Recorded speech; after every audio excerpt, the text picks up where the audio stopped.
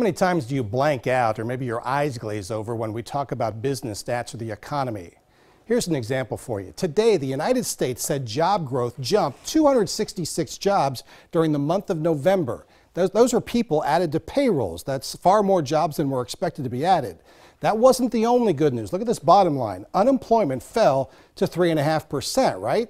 That's good news. But what does it mean? Who's it benefiting? Today, I found out the perfect way to explain this and it was in an industry that's impacted locally. McHenry Industries in Austintown makes signs. Lots and lots of signs. Names you recognize, some which are big in other places.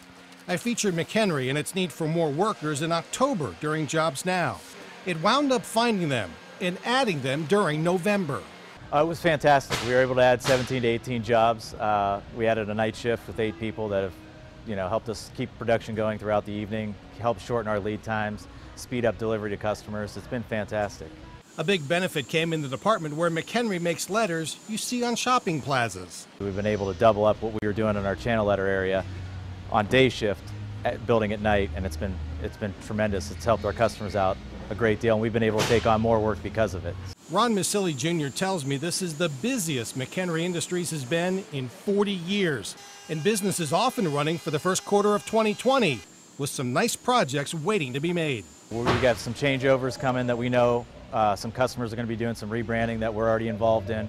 Um, at least through next summer, we feel that this is sustainable. The new hires has increased McHenry's workforce to 77. What the new hires are costing in pay and benefits McHenry hopes it leads to three and even four times in revenue. A sign can make all the difference for a business. The job growth is showing workers that their jobs and incomes are pretty secure. All of our employees are fantastic. You know, we, we appreciate everything that they've done. They've helped build what we are today, and they'll continue to help build what we're growing into tomorrow.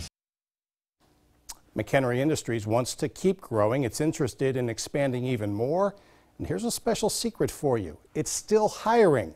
I've put that info on how to apply inside this story on the WKBN app.